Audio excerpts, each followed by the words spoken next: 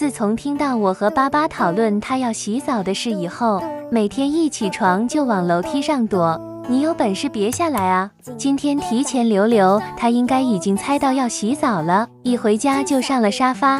大热天的水都不喝了，拿淀粉肠都骗不下来。妹妹也在旁边苦口婆心的劝了好久，发现不管用后就去找巴巴告状了，只能让巴巴把他搬下来了。